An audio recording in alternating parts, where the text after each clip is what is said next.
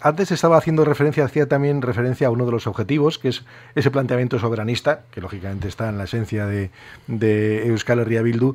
Y mañana hay que, tener en cuenta que en el día de hoy se va hoy se va a dilucidar ya lo que va a ser el gobierno con ese acuerdo formal, simbólico de PNV y Partido Socialista de Euskadi. Mañana tendremos debate de propuestas en torno a Emanuel Pradales o a Pello Chandiano. Eh, Comentaba Pello Chandiano en el día de ayer en la reflexión que es que el objetivo tendría que ser después del verano empezar ya a evolucionar en torno a lo que puede ser pues el nuevo estatus o la nueva configuración de la nueva configuración de lo que podría ser bueno un planteamiento nacional bastante más eh, relevante del que ha habido hasta ahora. ¿Cree que es posible? Porque tal y como están las cosas, cada dos por tres se acaba en un cajón. Sé que arranca y luego acaba en un cajón, ¿no? ¿Se refiere a la, propuesta de sí, nuevo sí, las propuestas, sí, del nuevo estatus. Eh, debería de ser eh, posible. En cualquier caso, lo que es es urgente. Así lo venimos manifestando, no ya eh, estas últimas semanas o meses, sino los últimos largos años, ¿no? Y es urgente porque necesitamos nuevas herramientas y mayor capacidad de decisión como sociedad, como pueblo, como comunidad nacional para hacer frente, repito, a los colosales retos ¿no? que tenemos eh, entre manos. ¿no? De ahí que nosotros eh, bueno, nos propongamos ¿no? Eh, retomar los trabajos de la, de la, ponencia de autogobierno a la mayor brevedad posible y alcanzar un acuerdo en torno a un nuevo estatus político que, como digo, nos dote ¿no? de todas aquellas herramientas y de aquella capacidad de decisión que necesitamos para enfrentar con éxito, con unas mínimas garantías, pues todos estos, todos estos retos. ¿no? sabiendo que no va a prosperar la candidatura de Pello Chandiano, eh, mañana, eh, ¿por qué razón dan el paso? ¿Para confrontar, para que se vea que hay una confrontación de ideas diferentes, de planteamientos diferentes en Euskadi? Bueno, usted eh, decía ahora mismo ¿no? que mañana vamos a asistir ¿no? a ese debate, a ese, digamos, cruce ¿no? o intercambio de, de, propuestas, de opiniones. Em, yo lo veo diferente, ¿no? Creo que desgraciadamente no vamos a poder asistir a ningún debate, simple y llanamente porque, bueno, el señor eh, Paradales, ¿no? Y las dos fuerzas políticas, eh, bueno, que eh, van a conformar, ¿no? El próximo gobierno están renunciando a ello, ¿no? todo lo que sabemos hasta el momento es, bueno, de la existencia de un preacuerdo, ¿no? De esas 11 páginas lleno de generalidades, o sea, son 11 páginas que podría firmar desde el Partido Popular hasta Euskal Herria Bildu, porque repito, eh, contiene una serie de, bueno, de lugares eh, comunes y de, en fin, declaración de intenciones que a priori ¿no? Eh, podríamos compartir todos, pero que carece de ningún planteamiento concreto, de ningún plan concreto, digamos, para, pues, para hacer frente a estos retos a los que me vengo refiriendo. ¿no? da la impresión ¿no? de que algunos pretenden bueno, reducir, ¿no? limitar ¿no? el debate, y dicho sea de paso, el papel del Parlamento que bueno, es la, la sede ¿no? de la soberanía de esta parte del país, ¿no? Eh, pues a un papel de mero notario o de mero eh, espectador. ¿no? Y para nosotros esto, esto es grave. ¿no? Eh, ¿Por qué presentamos la candidatura de Ochandiano? Pues sencillamente porque pensamos y entendemos que el PNV y el PSE están desatendiendo ¿no? el mandato popular que emanó de las urnas el 21 de abril. ¿no? creemos que esta parte del país en esas elecciones puso encima de la mesa un mandato muy claro, un mandato que lo que planteaba era que hay que avanzar en soberanía o en la recuperación de nuestra soberanía nacional, que hay que avanzar en eh, políticas sociales, en políticas de izquierdas, pero sobre todo y ante todo que ha de articularse un nuevo modelo de gobernanza, un modelo de gobernanza bueno, colaborativo, cooperativo, incluyente habida cuenta de que para poder enfrentar esos enormes retos van a ser necesarios niveles eh, de consenso eh, bueno, que no son capaces de alcanzar eh, ni un partido ni dos en exclusiva.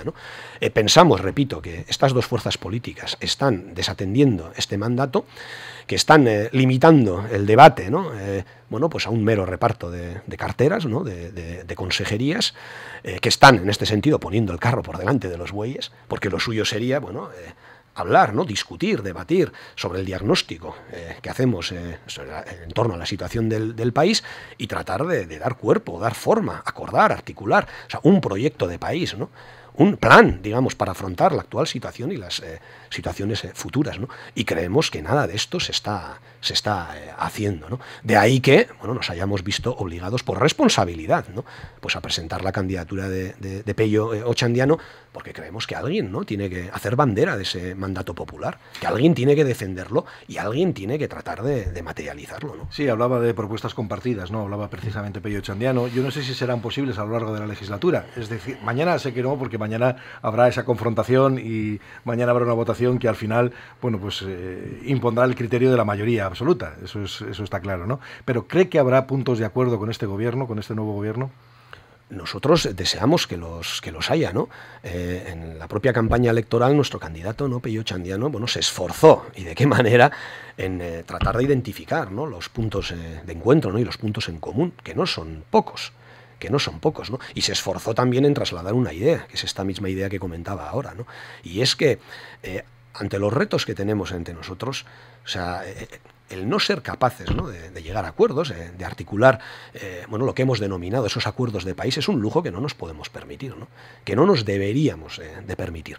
De ahí que nosotros ¿no? vayamos a abordar esta legislatura bueno, con una oposición, digamos, contundente, con una posición crítica, o sea, vamos a hacer la labor que se le supone ¿no? a la oposición, pero de la misma manera vamos a hacer una oposición eh, constructiva, una oposición eh, proactiva y nuestra mano eh, permanentemente va a estar tendida ¿no? para alcanzar bueno, esos acuerdos que creemos no tienen alternativa, si realmente vamos a ser capaces como sociedad bueno, pues de salir airosos ¿no? de esta situación a la que antes usted se refería, que no es sencilla. ¿no? no, bueno, y frentes abiertos hay muchos, ¿eh? Sí, eh, cuando vamos, a la, cuando vamos, a la, concreción, digo ya, a la concreción, frentes abiertos tenemos unos cuantos. Pues efectivamente, eh, no nos están explicando, por ejemplo, el PNU y el PSE, eh, cuál es el plan para hacer frente a la situación de desmantelamiento de Osakidecha, ¿no? No nos están explicando cuál es su plan y en qué están de acuerdo, dicho sea de paso, en lo que hace a enfrentar ¿no? la, gravísima problemática de la vivienda. ¿no? no nos están contando. O sea, cuál es el plan para poner en pie un sistema eh, público de, cuidados, ¿no? para enfrentar, en definitiva, la grave crisis de, cuidados por la que está atravesando este, este país. ¿no? Tampoco nos dicen eh, cuál es eh, su plan concreto, ¿no? si es que están de acuerdo. ¿No? Eh, en, de qué manera ¿no? tenemos que enfrentar. Ahí ponen, mucho acento en eso, ¿eh? ¿Eh? están poniendo mucho acento en que dice, no sé si están de acuerdo, pero no es la primera vez que lo oigo pero porque de. Claro, pero porque si uno atiende ¿no? al pasado más inmediato, ¿no? quiero decir, a los últimos meses bueno, de esta legislatura e incluso al conjunto de la legislatura, observará que casi son más ¿no? los puntos de desencuentro entre el PNV y el, y el PSE que los puntos de acuerdo. De ahí que digamos que pensamos ¿no? que estamos más ante un nuevo gobierno ¿no? de salvación laboral que ante un gobierno con, con, propósito, ¿no? que ante un gobierno con un claro proyecto de país. Porque, mire usted, no están de acuerdo en relación a la cuestión del estatus. Día sí, día también, el señor Andueza se encarga de poner de, manifiesto ¿no? su desacuerdo. ¿eh? En este caso con la mayoría no solo con el PNV, sino con la mayoría que defendemos la necesidad de un nuevo estatus que, entre otras cosas, recoja ¿no? el derecho a decidir que asiste a los y las ciudadanas vascas. Eh, no están de acuerdo en, cuestión en la cuestión de la vivienda. Tenemos a un PNV que recurrió en su día a la ley de vivienda en, aquí, en el Parlamento vasco, que recurrió, ¿no? que votó en contra de la ley de vivienda en el Estado español y que tiene recurrida ahora misma esa misma eh, ley de vivienda que permite, entre otras cosas, topar los alquileres, nada más y nada menos que ante el Constitucional, que ante el Tribunal Constitucional español. O sea, no están de acuerdo tampoco en eh, materia, eh, digamos, de transición energética. Entonces la pregunta es, claro, ¿en, ¿en, qué están de acuerdo?